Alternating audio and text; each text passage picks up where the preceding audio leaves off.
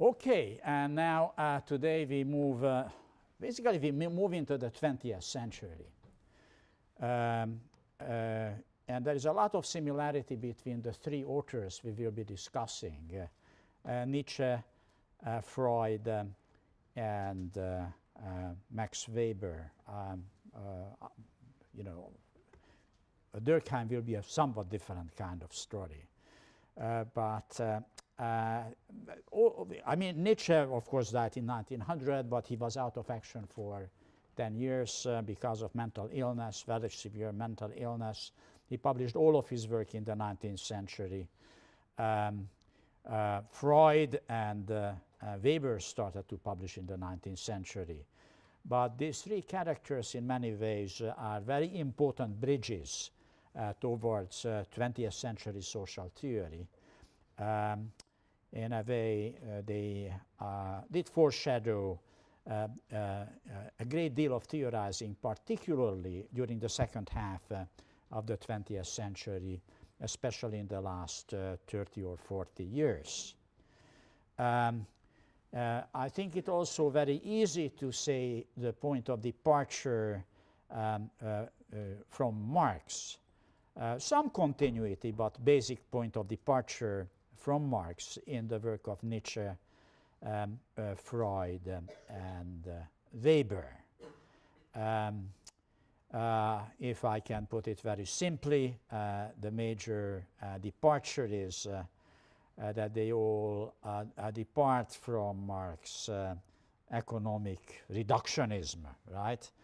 the emphasis on economic interest, which is actually not only Marx, right? It was common uh, uh, in Adam Smith and Marx uh, as, as well. They depart from this and they um, emphasize that the problem in modernity is not so much in the economic system, uh, it is much more uh, in terms of um, uh, power and consciousness. Uh, the problem of modernity is uh, repression uh, in one way or another. Um, the, the problem of modern life is that we internalize the reasons for our own subjugation um, as such. Um, and somehow he, we have to figure out how to liberate ourselves from this internalized uh, subjugation. Um, why do we obey orders? Uh, uh, why do we uh, actually accept that we are subjugated? This is the central question um, I think uh, Nietzsche, Freud, and, and, Weber are posing. Um, uh, it's again a question which has not been really asked uh, by um, the other theorists we discussed so far. They just um, had uh, uh, you know, civil so society as a point of reference for uh, the good society. now, the problem for Nietzsche, Freud, and Weber is in us, internally, in us, how, how, how we solve the problem within ourselves. So you know, this is a kind of uh, introducing the three authors. Uh, in some ways, uh, one can say Nietzsche, Freud, um, and uh, Weber uh, not only foreshadows 20th uh, century social theory, but in some ways they are the first of postmodern theorists, right? The, the, the theorists which uh, beginning to come to terms with uh, uh, the um, um, oppressive nature of modernity and try to figure out how to how to transcend that. Um, now, um, I think what I ask you to read for today is probably the most difficult text uh, uh, for the semester, the genealogy of morals. Uh, and you may have been greatly frustrated by it and probably also irritated by it because he's a very provocative mind. Um, uh, I hope you did what I suggested, namely, you had a cursory reading of the text before today. And now you can go back to the text after my um, uh, uh, lecture notes. Uh, and I think that should be it should help you to find your way out and to see what he is really up to. Now, what is he up to? Let me just foreshadow before I get into his life and work, and particularly in genealogy of morals.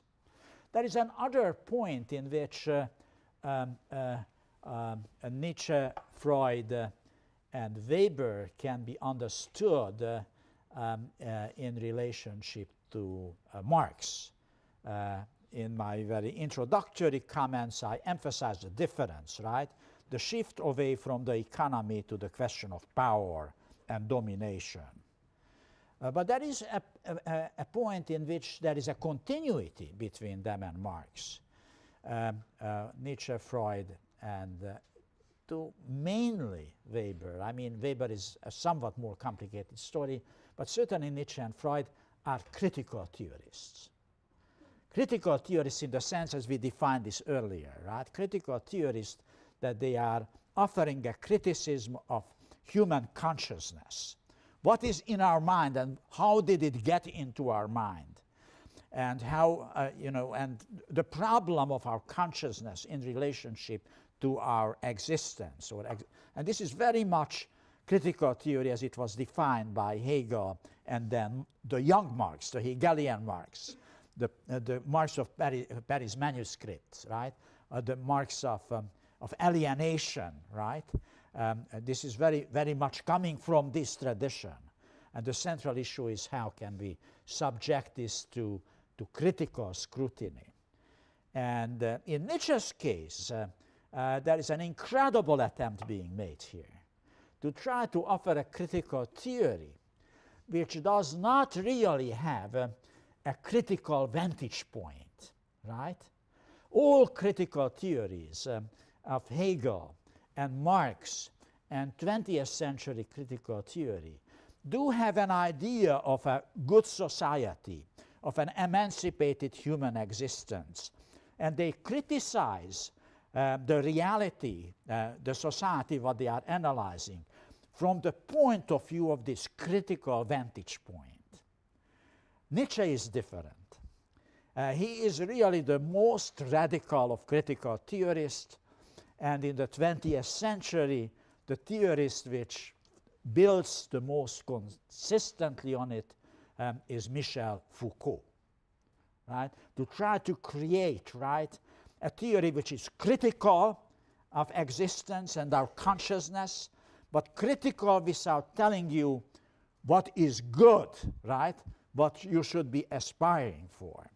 And that's exactly what um, uh, Nietzsche is trying to do. It is sort of the squaring of the circle.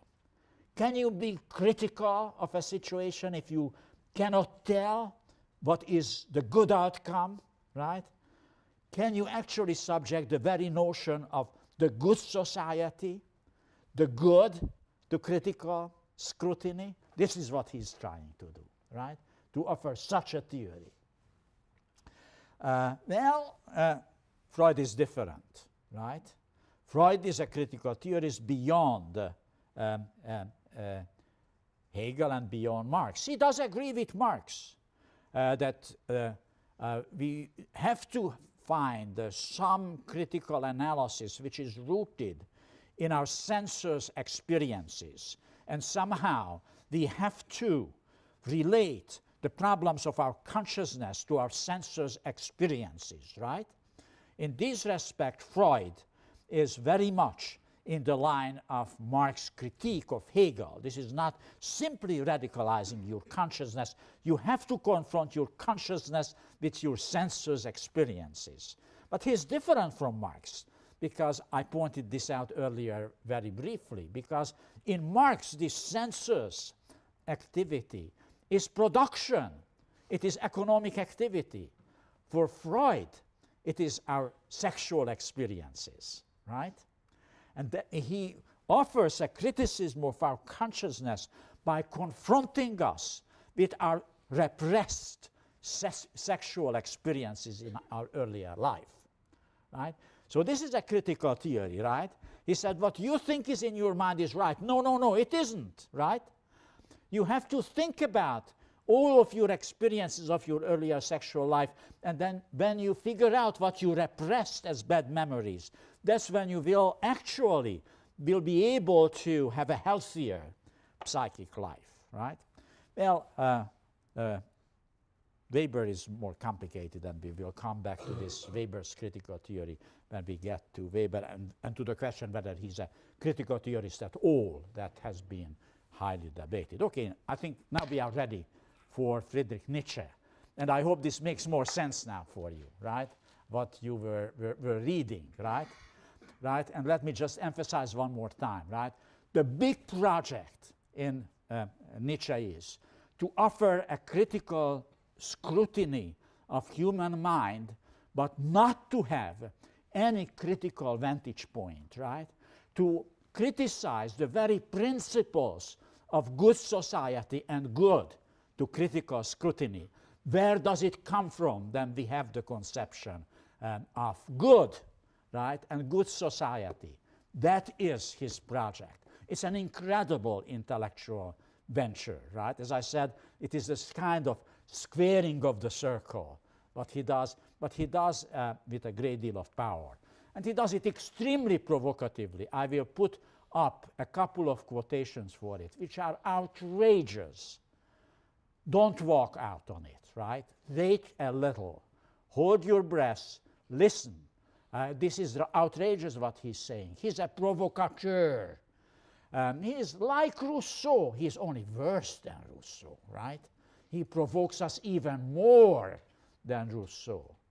Uh, but, you know, deep down, he is a very sensitive, you know, very humanistic human being, right? He provokes you, but if you listen carefully, you figure out there is uh, something what you actually can relate to it when you think what he's actually trying to get at. All right, here is uh, Nietzsche, and let me just very briefly rush through his life. He was born in 1844 in the small city of Röcken uh, in Germany near Leipzig. And this is very important. His father was a Lutheran minister, and the family was all clergy, Lutheran clergy. And he's bringing up a very, in a very religious uh, sentiments, uh, uh, very religious family. And in many ways, uh, his work is a reaction against the father and it is a reaction against the kind of uh, Lutheran Christianity he was deeply uh, internalized into. I think this is very important to understand. I mean, I, I know that most of the people in this room uh, have strong feelings of in Judeo-Christian tradition, and he attacks also Judeo-Christian tradition.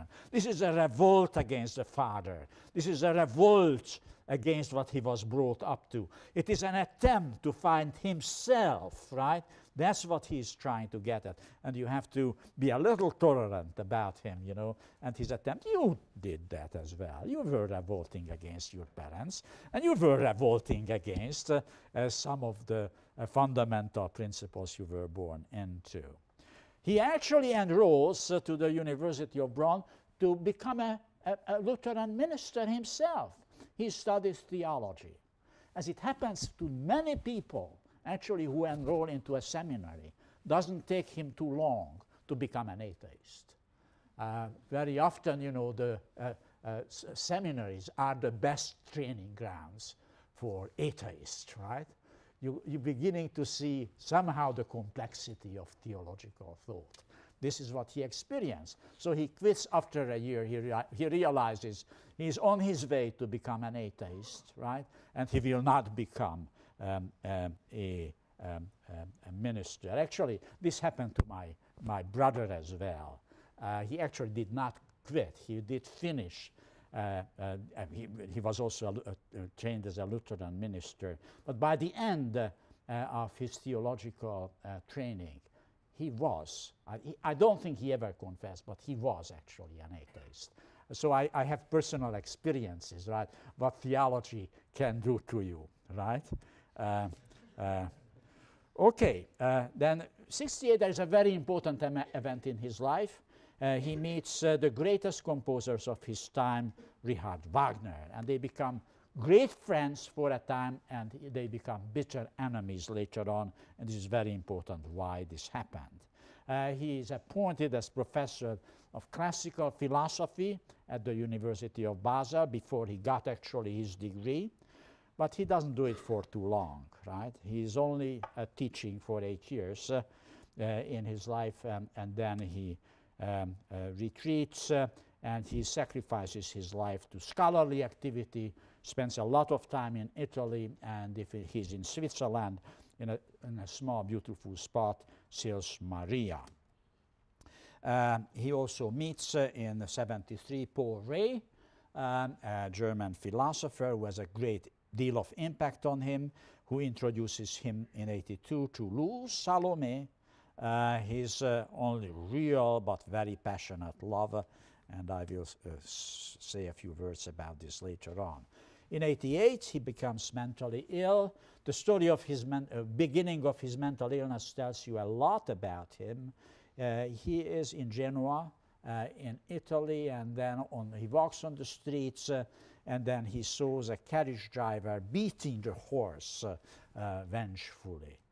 And then he suddenly cuddles the horse, beginning to cry, and his mind is gone, right? He falls deeply um, into mental illness. He never recovers anymore.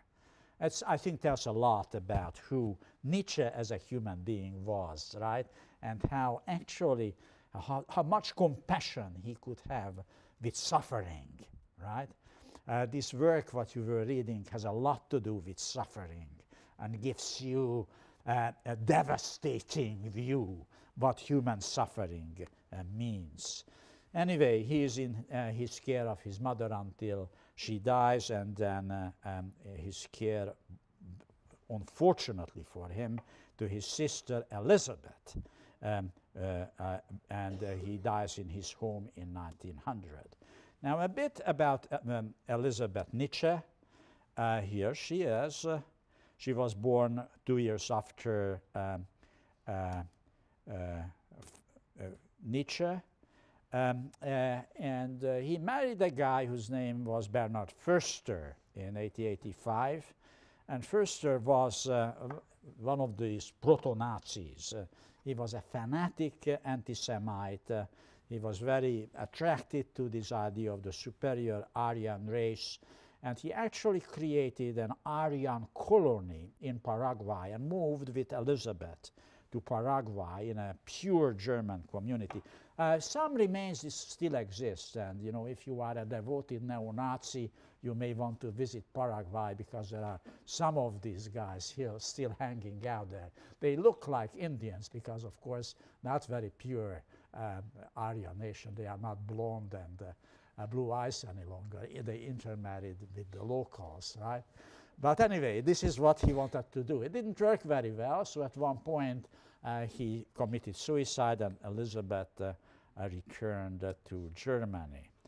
Uh, well, I think it's very important that Nietzsche, after she got married, broke the relationship with his sister. He just could not stand his brother-in-law and his anti-Semitism. Though uh, you will see some of the citations which sound very anti Semitic, he was very intolerant about anti Semites. Uh, uh, this was one of the reasons why he broke his relationship with Richard Wagner. Um, but in 94, uh, Elizabeth created the Nietzsche archive. Uh, Nietzsche was insane, um, and uh, he had a lot of unpublished work, manuscripts. He put it together into an archives, and he abused it as much as she could. Uh, she turned into a, a right winger, and with the rise of Nazism, a Nazi, an admirer of Hitler, and he put together a lot of um, um, Nietzsche tests uh, in order to fabricate a Nazi ideology out of Nietzsche. And some, therefore, have been reading for a very long time Nietzsche as an ideologue of Nazism. So did Adolf Hitler, who actually even attended the funeral of Elizabeth in 1935 when she died. Well, I think uh, uh, people who read uh, Nietzsche carefully and who have seen now Nietzsche's original um, um, work published rather than selections by Elizabeth uh, have a great deal of doubt whether Nietzsche has anything to do with Nazism, though the story is complicated. Now, uh, here we come, a nice triangle. Lou Salome, Paul Rée, and Friedrich Nietzsche. Well, I should show this picture after Freud. Uh, remember that? Uh, watch, watch on it. It is a very Freudian kind of presentation. Louis Salome, Paul Rée in the middle, and Friedrich Nietzsche uh, uh, um, uh, on the other side of the picture. Now, Lou, Paul, and Friedrich. Paul Rée is actually comes from a very wealthy Jewish family, German Jewish family. Uh, for reasons which is beyond me. Occasionally, um, Nietzsche refers to him when they already broke up uh, uh, as a, the, the, English psychologist. He was a German philosopher. Um, anyway, he, he became very, very good friends at one point.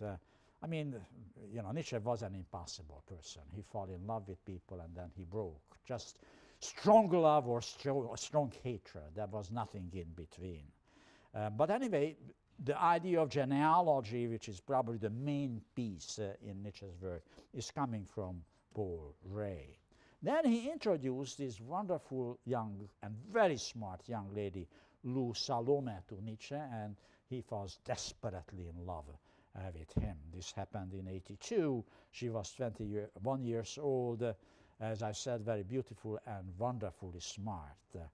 Um, and uh, well, uh, Nietzsche uh, was hoping to marry her. I mean, he was opposed to the idea of marriage, but you know, he's writing letters to Rée, kind of not aware that there is a relationship going on between Rée and Lou.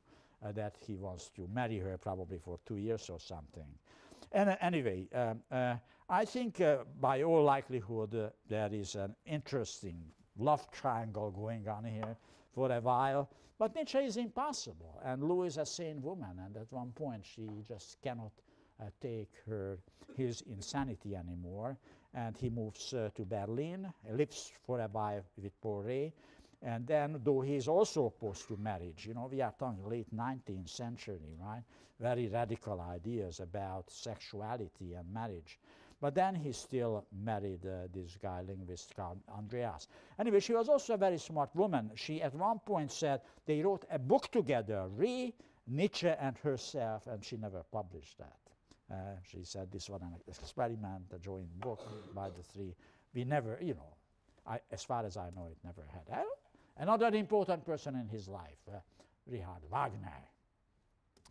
Uh, well, uh, um, Nietzsche was a music fanatic in, in, in, in already in his boyhood. And when he read uh, Wagner's piano transcript of Tristan and Isolde, uh, he just fell in love with that. That was the music he was looking for. Um, he, why? He was, he was a hero worshiper. Uh, that's why, you know, people, some people read still in him a kind of proto-Nazist. He, he likes strong, beautiful people who are heroic and do act, do heroic act. Like the Greek, uh, right? Uh, uh beautiful young man, powerful, right? And heroic, like the gods, the Greek gods. That's what he really um, empired. And this is what he found in Wagner's music, yeah, a rejection of the Rus Ros Rossini kind of sentimentalism of Italian music. And in fact, the classicism and coldness uh, um, um, and pretentiousness uh, uh, in the music of, uh, of Beethoven. And what he found uh, um, is something uh, new in Wagner. So he was attracted to Wagner um, and um, as he was becoming uh, uh, actually increasingly anti-Semitic uh, under the influence of his last wife, Cosima, who was the daughter of Franz Liszt, the composer, and, and was really a pretty evil person. Um, uh, and also, Wagner was changing. He was uh, becoming, in some ways, kind of more Christian or something. And he was writing these I actually have to confess, love the opera, Parsifal. Well, Nietzsche could not take it, you know, it was uh, impossible for him. So then they break, Uh, he could not stand Wagner's anti-Semitism, and he could not stand Parsifal, and the kind of expression of uh, I don't know anybody ever uh, heard Parsifal? No. Not an easy stuff. Um, uh, it's it sounds like an oratorium. Um, uh, it has some Bachian kind of elements in it. Um, uh, and uh, it's about uh, uh the sacrifice of the Lamb of God, Jesus' sacrifice and um, performance of the Mass and the cult of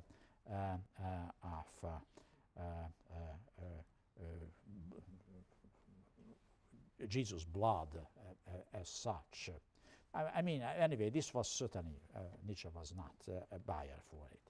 Well, uh, just a word about uh, his first book, uh, The Birth of the Tragedy, uh, which, uh, um, uh, as I said, he was a great admirer of the Greek civilization. Um, and here, he, his idea is that the whole human history is driven by the struggle between a Dionysian and Apollonian principle. Dionysian means, right?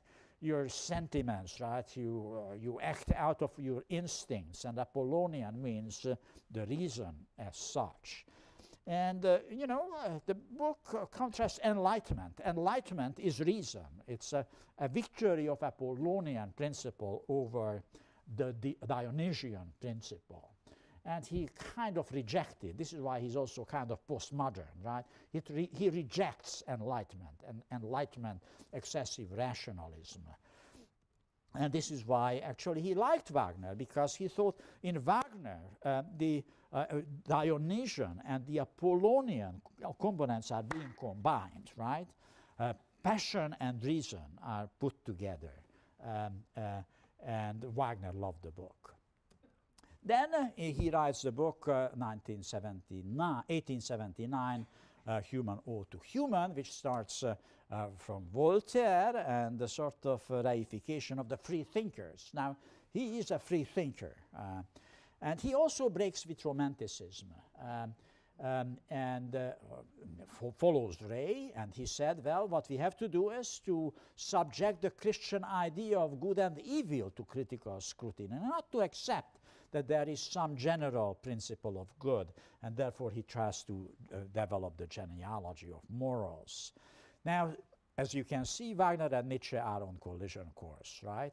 Uh, Nietzsche is now subjecting the very core of Judeo Christian tradition to critical scrutiny, uh, while uh, uh, uh Wagner is writing Parsifal and being the Holy Grail and asceticism. Wagner assumedly even has not read the book.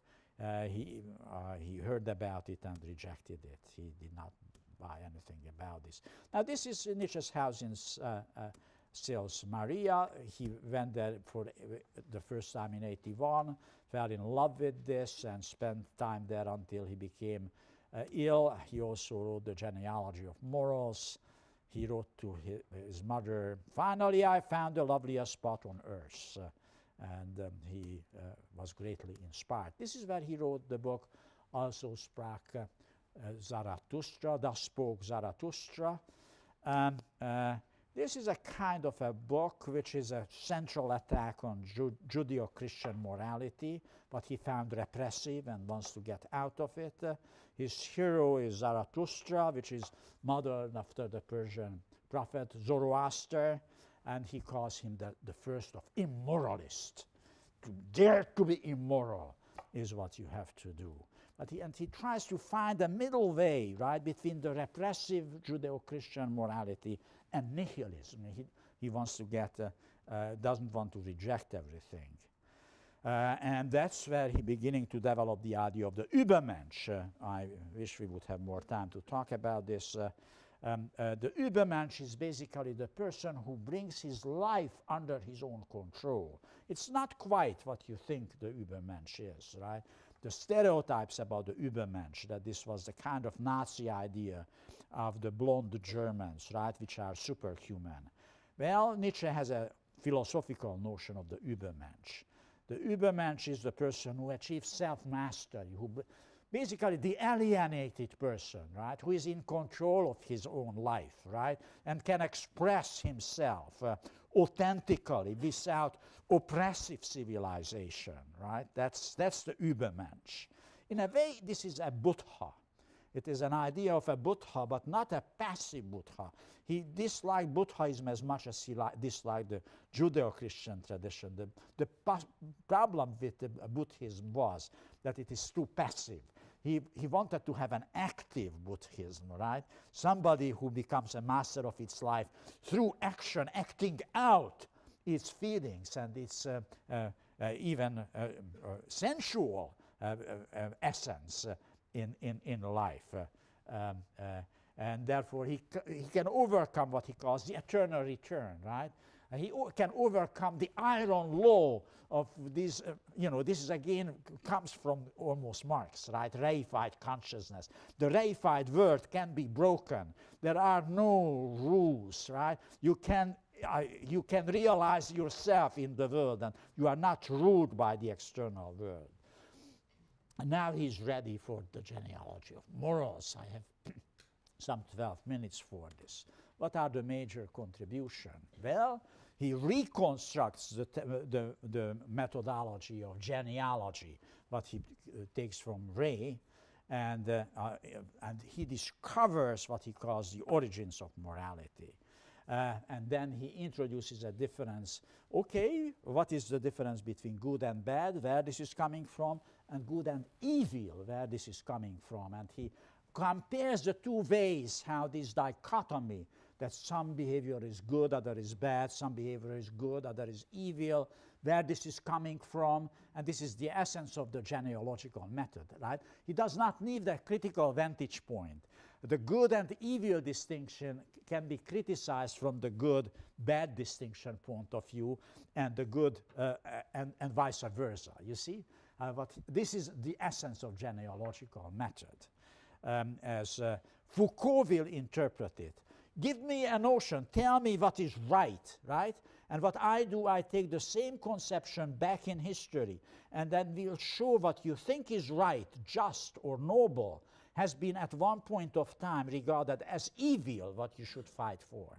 And tell me what you think is evil, and I go back in history and I will show you instances where what you think is evil was actually admired and was seen as ethical, right? This is the essence, right, of the genealogical method, right? That you compare two ways how morality is being constructed, and you are criticized one from the point of view of the other without taking sides. Where do actually you stand uh, uh, as such?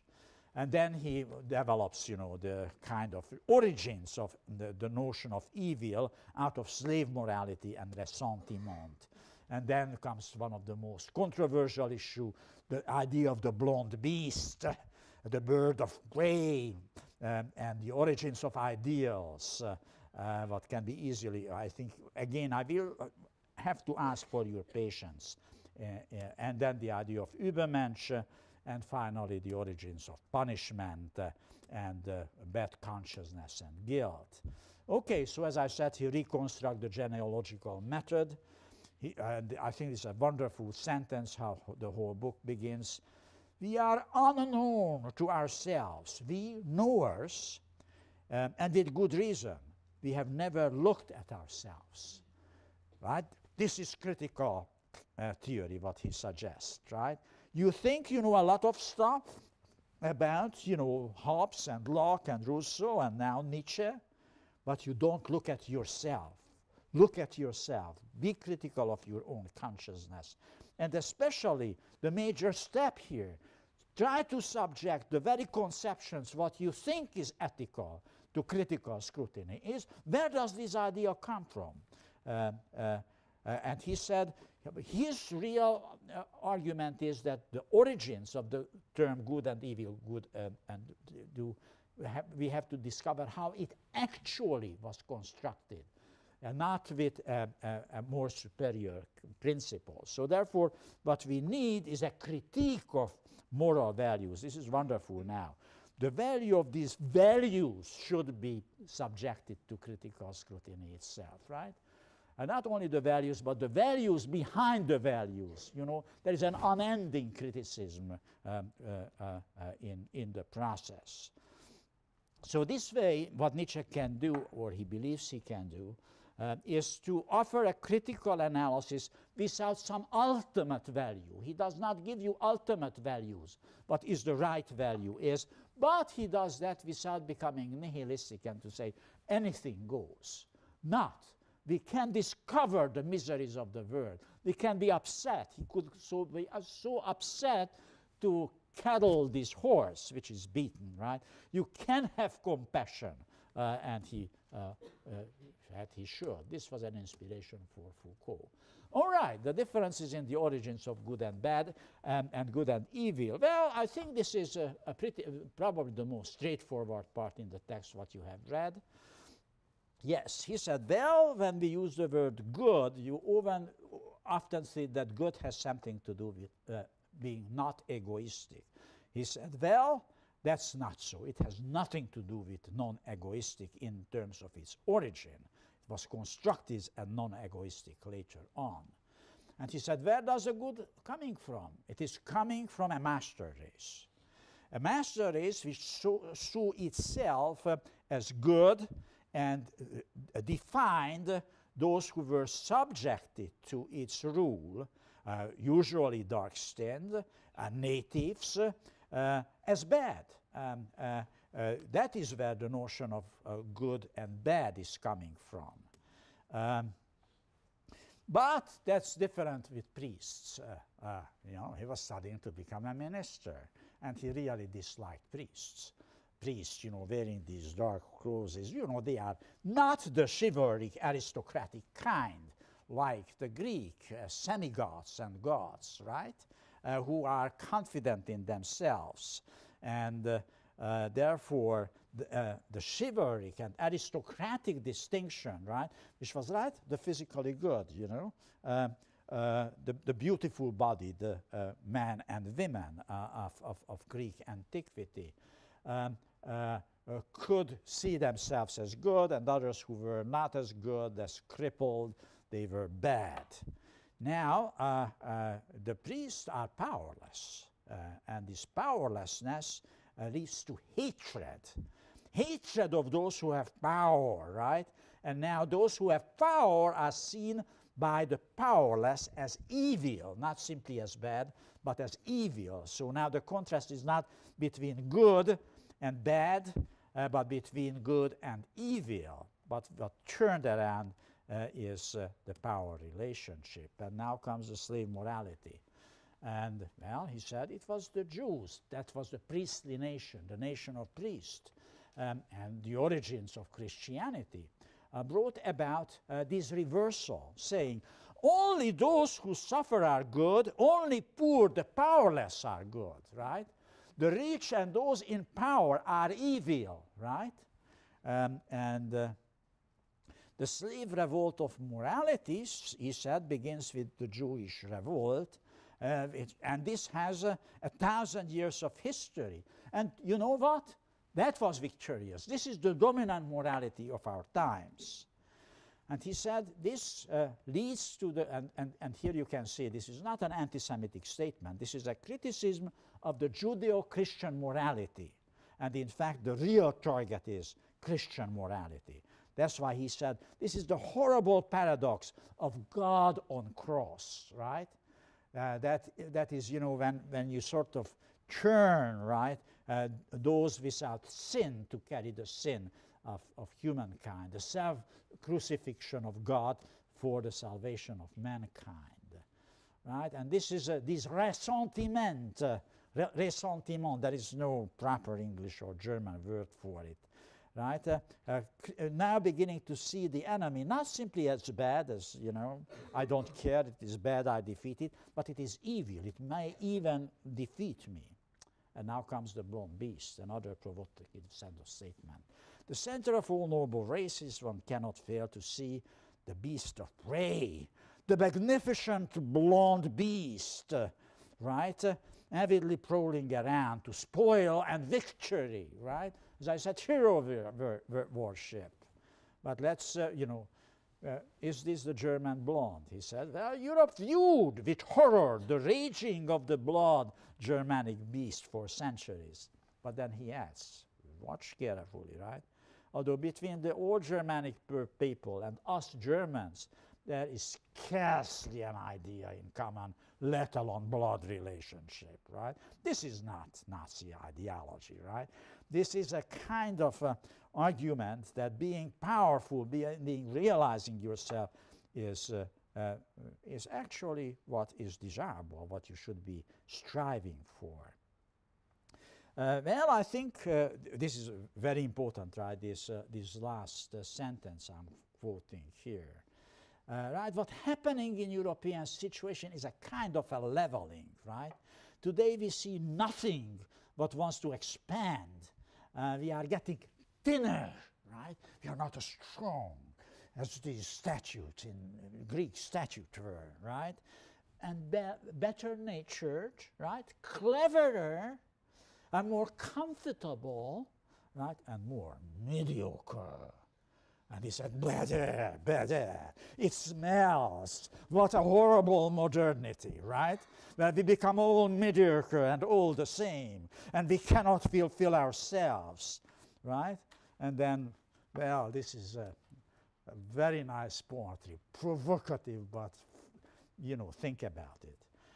There is nothing strange about the fact that the lambs bear a grudge towards the large birds of prey. But there is no reason to blame the large birds of prey for carrying the little lamb. Well, the lambs say to each other, These birds of prey are evil. And whoever is least like the bird of prey and most like the opposite, like us, the lamb, is good, isn't it? Right? Those who dominate is bad, and those we are the suffering are the good ones. yeah, the bird of prey responds. We don't bear any grudge at all towards those good lambs. In fact, we love them, right? Nothing can taste better than a tender lamb, right? Well, as I said, this is disturbing, but I think the point is what he's calling for, right? The self-fulfillment of individual and, and his um, desperation that in modern world we cannot fulfill ourselves. And here comes the workshop ideals are where the ideals are fabricated. He said, in this workshop, lies are turning weakness into accomplishment, Impo impotence uh, uh, uh, not to retaliate is being turned into goodness, though you are only in impotent and you beginning to construct your impotence as good. You are not good, you can't do anything about it. And submission to people that you hate, that's what you call obedience. Um, not because they you really accept their superiority, because you are afraid of them. And then you construct a good notion out of this. Obedience this is a good word. Uh, well, he said, there are, they are also talking, love your enemy. Um, and they are sweat while they are saying so, right? It's a big lie. You don't love your enemy. You hate the guts out of them. You say you love them, and meanwhile you sweat, right? That's what he said. You know, this is the workshop, right, in which uh, uh, uh, uh the ideals are uh, uh, created. This is where they call it the triumph of justice. you don't hate your enemy. Oh, no, no, no. You hate injustice, right? You create your enemy as unjust, right, and unfair. Rather think, well, this is my enemy and he's stronger than me. Um, well, therefore, he said, the workshops where ideals are fabricated, they stink of lies. And again, better, better, get out of here, clean air. Let's talk truths, not lies. That's the point. And Übermensch is the one which will, right? Because the Übermensch is, uh, he said, well, uh, good and bad, good and evil fought together. Now the good and evil is uh, dominating us. Uh, well, the Renaissance was brilliant. It was reconstructing, right, our classical idea. Um, but then came, again, you said, the Judah triumphed again. Again, be careful, not anti Semitic, no, it's again more against Luther than against Jews. He said, thanks to the basically proletarian German and English ressentiment movement called the Reformation, right? That's his real enemy here. And he said, well, the, uh, my, uh, I don't have time to labor on this. So, uh, very briefly, origins of punishment. Uh, well, uh, we have to forget. Uh, forget is we have to suppress memories which were bad. And in order to suppress, well, there is a mnem mnemotechnics. that means that we are actually pain is the most uh, uh, useful way how we forget what we have to forget, we, we have to remember, right? Um, he said, These Germans, the nation of thinker, made a memory for themselves with dreadful methods uh, stoning, breaking on wheels, ripping apart, and trampling to death by horses. All right, I have to finish it now here. Uh, but I hope you get sort of the bottom line, right? The bottom line is have a radical critical theory which does not need ultimate value to be critical of uh, false ideas and lies. Get choose, and the ideal is the person who can fulfill itself uh, right in the world and conquer the world as such.